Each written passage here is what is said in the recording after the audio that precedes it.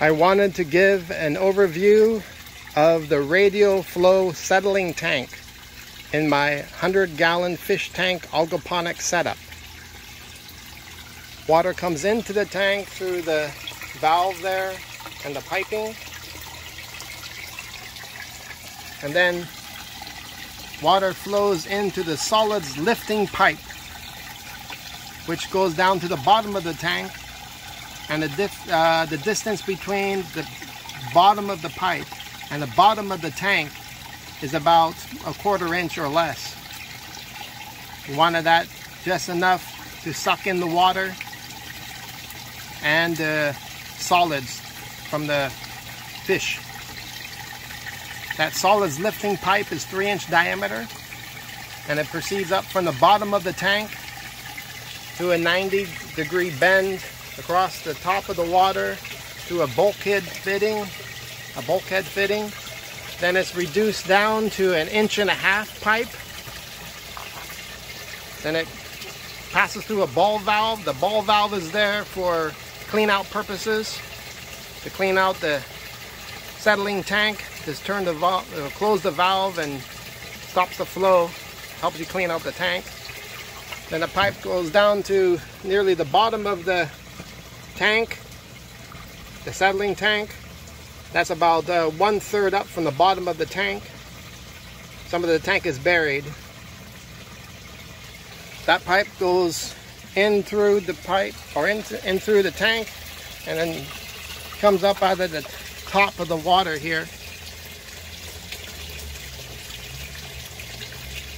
That water flowing through that inch and a half pipe goes into the four inch diameter stilling well.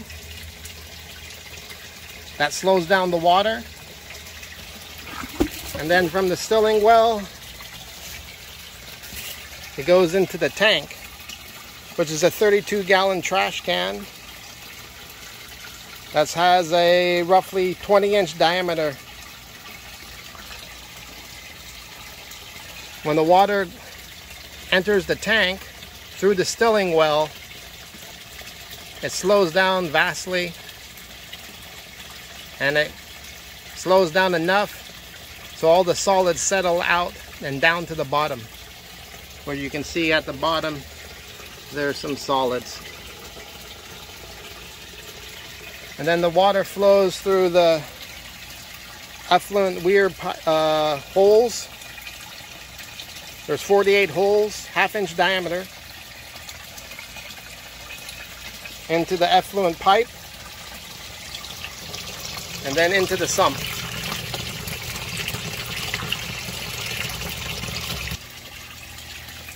Some radial flow settling tank statistics. For the tank, for the fish tank, I have 150 gallons per hour coming into the tank. That equates to 2.5 gallons a minute. So the water flowing through this solids lifting pipe is 2.5 gallons a minute. That's what's coming out of this pipe here. 2.5 gallons a minute. And because this is a 32 gallon tank, I have a retention time of 12.8 minutes. This is critical for the functioning of this settling tank. The longer the retention time, the more chance, more solids settle down to the bottom. So the solid lifting pipe is three inches down to one and a half inches which has a diameter of 1.77 square inches. The stilling well, which is 4 inch diameter.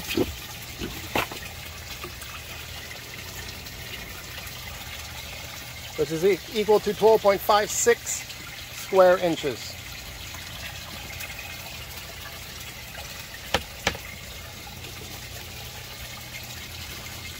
The tank has a 20 inch diameter, so that's 314 square inches. And then the 48 half inch holes each have, or for a total of, excuse me, 48 half inch holes have a total of 5.42 square inches.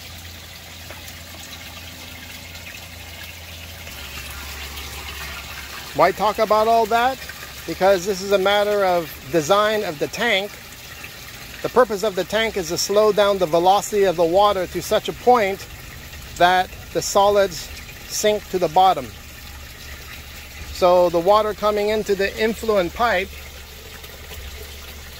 at 2.5 gallons per minute at an inch and a half diameter gives the velocity of that water 326 inches per minute.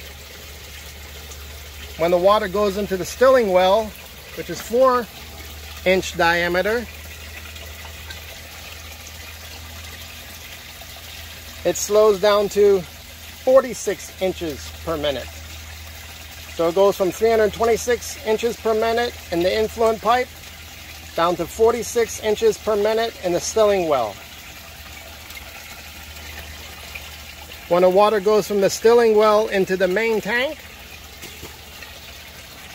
it slows down to 1.84 inches per minute, which is equivalent to 0.03 inches per second. Virtually nothing.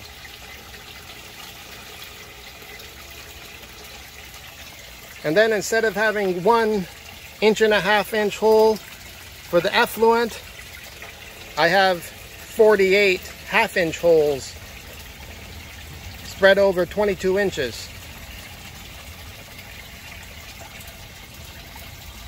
So when the water flows out of the effluent pipe,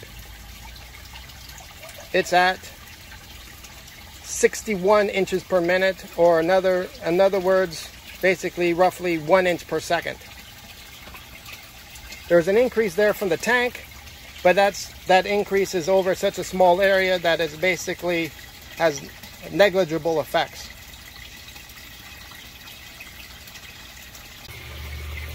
I do like I would like to do a quick talk about how I clean out the tank, the radial flow settling tank.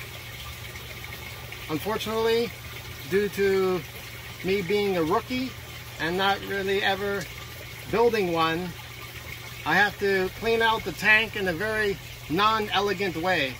I use a fishnet to scoop up the waste and then I take it to my processing area.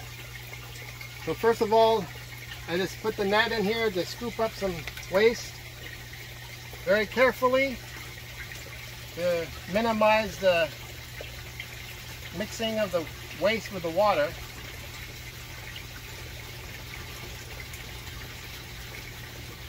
Slowly bring it up the side and then bring it out of the water carefully over to my processing area which is a, a fabric pot over some mesh. And at the bottom is a bin to collect all the water. So this is a dewatering area. I just dump the waste into the bag shake off the net and let it dewater through the bag or the fabric pot into the bin. Then after that, after it's dewatered, I either put it in a mineralization bin to uh, mineralize out all the demineralize the, the material out so I can water plants or I put the waste after it's dewatered into my uh, worm bin. So for vermiculture uh, composting. A brief discussion on miscellaneous items and lessons learned in building the radio, the radial flow settling tank. Number one, I have a bulkhead fitting as discussed earlier here for the three inch influent solids lifting pipe. There's a one and a half inch uni seal bringing that solids lifting pipe into the tank. There's another one and a half inch uni seal for the effluent pipe. And originally, instead of having half inch diameter holes I just basically cut the pipe lengthwise for the weir.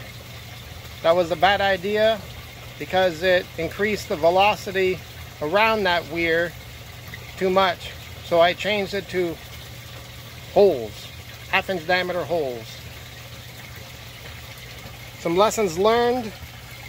Well, that was one lesson learned. The second lesson learned was I didn't put out a clean out pipe and a drain. I did not do that, uh, mainly because of inexperience. Had a lot of head knowledge, but no experience in building. So that was a problem. And also because the overall hydraulics of the system and the high elevation of the tank, I had to bury the bury the filter and the sump uh, anywhere from 6 to 12 inches. That does have some benefit. Helps provide some insulation from the earth uh, during cold or hot times. Those are some lessons learned.